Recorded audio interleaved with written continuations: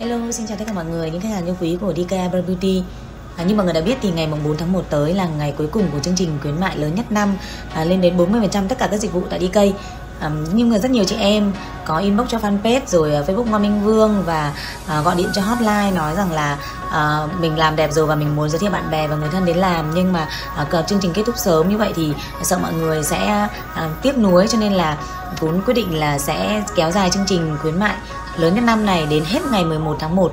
những chị em nào mà đang còn à, à chưa sắp xếp qua được trước ngày 11 tháng 1 hoặc là đang có bạn bè người thân ở xa thì mọi người có thể à, liên hệ để đặt cọc giữ ưu đãi. Và cái chương trình lần này thì là chương trình lớn nhất năm trong năm rồi cho nên là mọi người đừng bỏ lỡ nhé một cái thời điểm à, rất là đẹp để chúng ta làm đẹp đón Tết đón một năm mới à, an khang thịnh vượng. Và cũng nhân dịp này xin chúc mọi người có một năm mới thật nhiều niềm vui thật nhiều sức khỏe và tiếp tục ủng hộ cho DK trong thời gian sắp tới nhé xin cảm ơn và hẹn gặp lại.